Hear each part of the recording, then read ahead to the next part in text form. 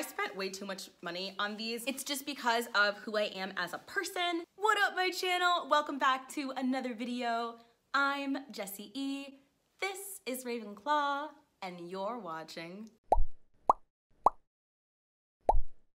after the Midwest Book Festival, I was just so inspired and excited, so I decided to stop by Target and pick up some Halloween and fall decor. This video is going to be about all of the fantastic goodies that I got, and I also will be decorating my house. First part of this video is going to be my haul, and then you will see me decorate later. The first thing that I got are these socks, which I had to wear. They say trick or treat. Ooh, fabulous.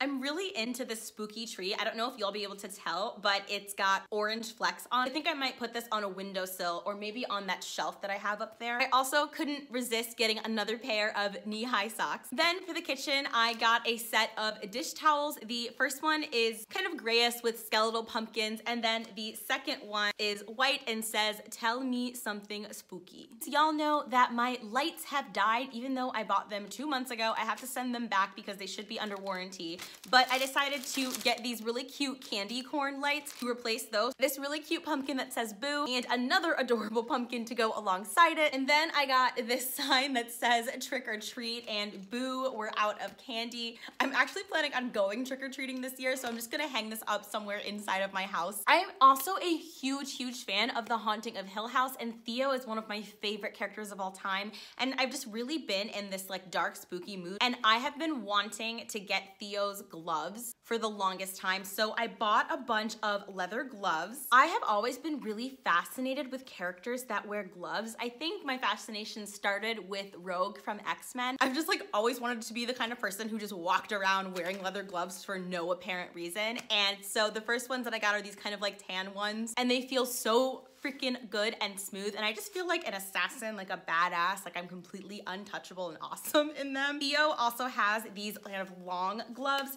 so I decided to get a pair in burgundy. I spent way too much money on these. It's just because of who I am as a person. I love these so much and I have a burgundy trench coat that I wear in the fall so I'm super, super excited for these. I also got these ones in black, but they're in my car right now, which is a great place for them. Oh, I forgot about these. I got another pair of socks that say trick or treat. You can never have enough soft plush black socks. I got another pack of starry lights. These ones are pumpkins. And last but not least, I could not resist myself from buying these candles. They're astrology themed and this one represents the astrological sign of Taurus. It's supposed to capture the essence of being a Taurus and for that they chose amber, vanilla, mahogany, and lime which I absolutely love. Y'all know I was born in May, I am a Taurus. And I was surprised by how much I adored the scent of this candle and just look at the look at the packaging. The black and the gold is so stunning. And I could absolutely not resist these once I saw them. They are water, earth, fire, and air. So these element candles all have different scents that represent the elements. Air is citrus linen. The water one is water moss and sage. The earth candle is pineapple and mint, which smells surprisingly good. You would think that it wouldn't, but that one smells very refreshing. Not quite what I would have picked for an earth scented candle, but I really did like the scent. And the fire scent is really interesting. It's charcoal vetiver. Everything that you just saw was from Target. And then I also ordered a set of Halloween bath bombs by Bath Nectar Treats. Bath Nectar Treats is Jodie Foster's bath company and they actually make the only bath bombs that I will buy. They make the best smelling bath bombs in the entire world. You can smell their bath bombs through the box. It's incredible. And they always come with these packing peanuts, which I absolutely love. It just reminds me of being a little kid and playing in boxes. Okay, so these bath bombs are made with sweet almond oil and Epsom salt. I don't know that I'm gonna open all of these, but you will see me using them in my vlogs and also on my Instagram, Bowties and Books if you follow me there. But I'll just show you one. Oh my God, it's getting glitter everywhere. It's covered in glitter and like this really cute dust. And for their Halloween set, these all have a little Halloween toy or a little Halloween spooky surprise in them. So I'm really, really excited to take a bath and find out what is lurking inside of these. Hopefully it's a million dollars.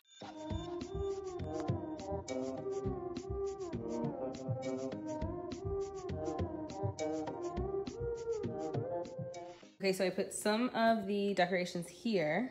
Nice spooky dish towel. And then I kind of just taped up the Halloween pumpkin lights along the wall and the shelf just let the candy corn lights frame the shelf. This is officially my monthly TBR shelf. So I have the horror books on my TBR, the fantasy books, and then the books from my Black Girl Magic series. And then I put up the air, earth, and the Taurus candle, while the other two candles are in the bathroom overall, I think it looks pretty good and incredibly cute and Halloweeny.